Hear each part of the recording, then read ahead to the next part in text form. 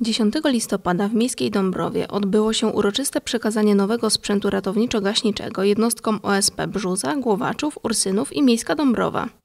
Wszyscy zebrani tego dnia goście zgodnie podkreślali, jak ważny dla bezpieczeństwa mieszkańców jest nowoczesny specjalistyczny sprzęt ratowniczo-gaśniczy.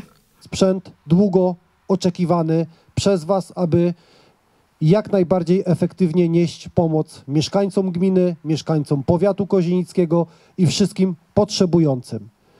Bardzo serdecznie chciałbym podziękować parlamentarzystom za to, że kierują środki, które Wojewódzki Fundusz Ochrony Środowiska może przeznaczać na doposażenie jednostek OSP i również na działalność ochotniczych straży pożarnych.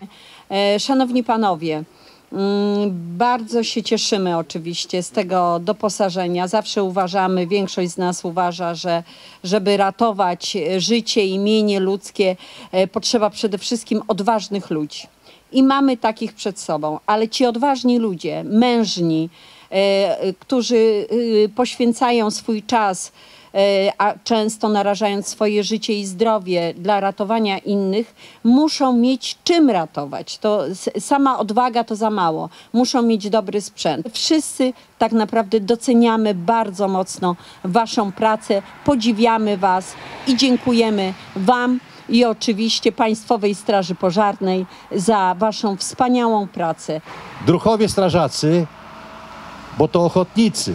Proszę Państwa, to nie jest, że ktoś każe Wam, żebyście byli w straży. Wy na ochotnika idziecie i wiecie, jakie to są, y, mogą być konsekwencje, bo to jest bardzo niebezpieczne zajęcie i za to Wam dziękujemy i gratulujemy takiej postawy.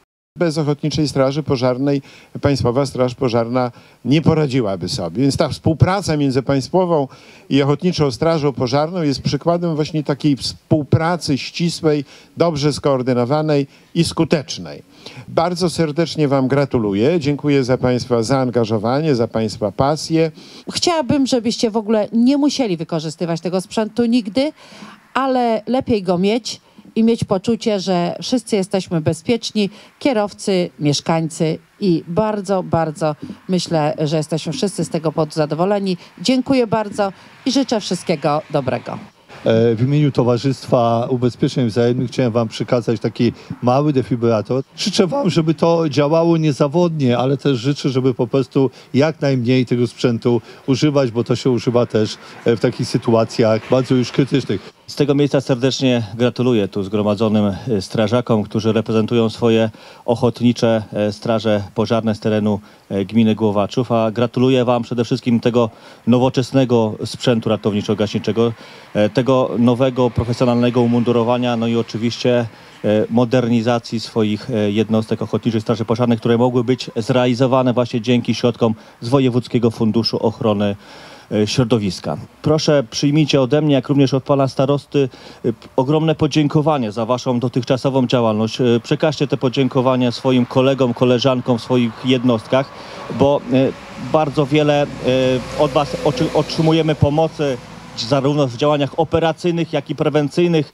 W ramach programu priorytetowego pod nazwą Ogólnopolski Program Finansowania Służb Ratowniczych, część druga, dofinansowanie zakupu sprzętu i wyposażenia jednostek OSP, jednostka w Głowaczowie otrzymała 19 896 zł wsparcia, natomiast jednostka w Miejskiej Dąbrowie 19 066 zł. Z kolei Ochotnicza Straż Pożarna w Ursynowie otrzymała dofinansowanie w kwocie 30 tysięcy złotych na zadanie pod nazwą Termomodernizacja budynku OSP w Ursynowie.